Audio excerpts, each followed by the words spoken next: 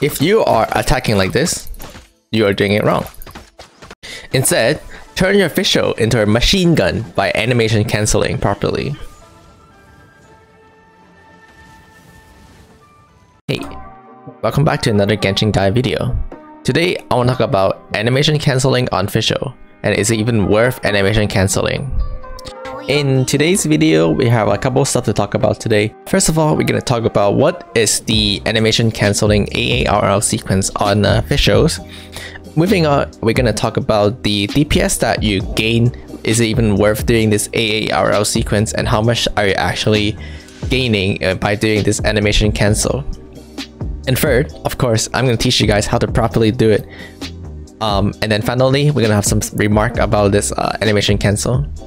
The topic will be timestamped below, however I encourage you to watch the entire video to properly understand every single part and component about this AARL cancelling. I'll be uploading more Genshin guide and tips in the future, so make sure you subscribe and let's get started into the very very first topic. So Fischl attack 5 times consecutively in her normal attack sequence, however her third, her fourth, and her fifth attack come out a bit slower because there's a hop animation a lot of the time, people will opt to cancel the very last hop with either a dash, a charge attack, or double tapping R. Now, however, notice the first two attack of Fischl's attack doesn't have this delayed hop animation and it come out very very quickly. And because you auto attack twice and then you double tap R to cancel, this sequence is very very often referred to as AARR sequence. So the question becomes can we rely on the first two shots that fire very quickly to do more damage instead of completing the whole sequence? Let's put it to the test by bullying our favorite friend, the Cryo Fowler. Starting off with Fischl's normal attack sequence, we're able to complete two full sequences in about 5.3 seconds. Currently, my normal attack is talent level 7, meaning I was able to do 882 attack percent in that 5.3 seconds window. That means my effective damage per second is 166%. Now let's take a look at the AARR cancelling instead. Here in about 5.3 seconds, I was able to complete 6 sequence of AARR.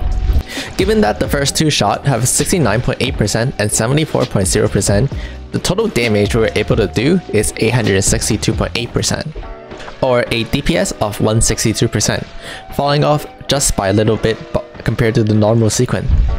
Or is it? Notice how after each sequence of Fischl's attack, she moved back a little bit, and in the end, we moved it all the way away from the boss. So instead, what we're gonna do is we're gonna hold down W to cancel the moving backward animation for Fischl. Let's take a look at the comparison again.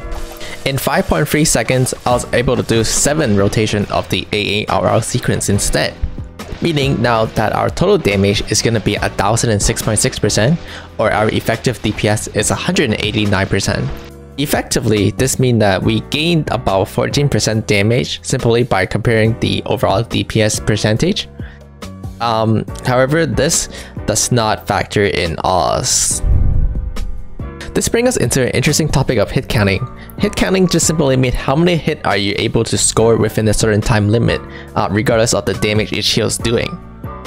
This is important because when you have Constellation 1 Fischl and Oz is not on the field, uh, Oz will fire a joint attack every time Fischl attack. Um, this is when every time Fischl attack, this is simply just counting off how many time Fischl is attacking. It doesn't consider how many damage Fischl are doing on each shot. This is the same for Constellation 6 Fischl, where also attack whenever the current character attack and doing 30% of Fischl attack damage as electric damage. Again, this atta uh, attack whenever Fischl attack, so the more hit you're able to score, the more Oz will attack. Pay a closer attention to both of these clips that I'm showing right now. Uh, notice that there's an additional white or purple text. Uh, that is the Oz joint attack. And notice how every time Fischl score a hit on the enemy, uh, Oz will fire a joint attack.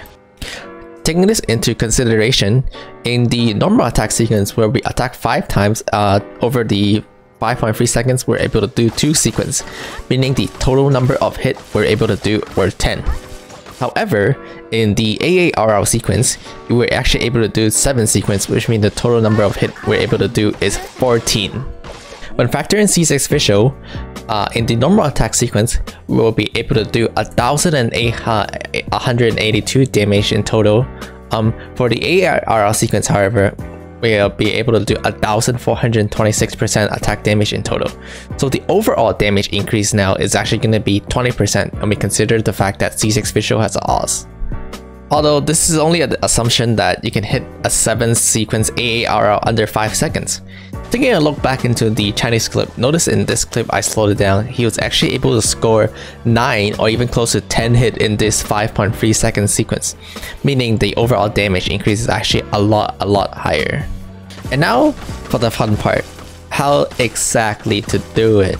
I slowed down the original clip with the keyboard layout and I want you guys to pay attention to the key that I'm pressing. Notice that I'm simply just spamming my left click. I'm not really timing my left click. However, I am timing my uh, R button click um, by quickly double tapping every time. You don't actually have to wait until your arrow come out to press R. You can simply just remember like a rhythm. The timing seems to be around 0.7 seconds. Uh, that seems to be the timing that I counted when I go back to rewind my clips. And so pressing R every 0.7 seconds seems to be good enough. Also, remember to hold down W. And now for everyone's curiosity, um, I tested a lot of other methods as well, including the charge cancel on uh, either the second hit or the third hit or even the fifth hit of the official attack, but none of them seems to be performing as well as the AARR combo that you cancel on the second hit. And the reason why you want to be doing this is because when you go to high level Abyss, very often you have to dodge a lot and so you can't really spare stamina for dashing to cancel. Uh, another reason is because um, in Abyss, very often you might not be able to finish your 5 attack sequence because you have to prioritize dodging and so this AARR sequence not only doing more damage but it's just more superior overall in comparison to trying to finish your 5 attack sequence. That's it for this video guys. Don't forget to like, comment, and subscribe. I hope you guys learned a thing or two here, including how to increase your official DPS, uh, as well as the stamina management. Uh, Genshin Impact is already a very easy game, but if you want to push your very limit, then feel free to practice. Uh, it's gonna take a while to get used to, it definitely took me a long time before I can properly do it, and so have fun. I'll see you guys next time.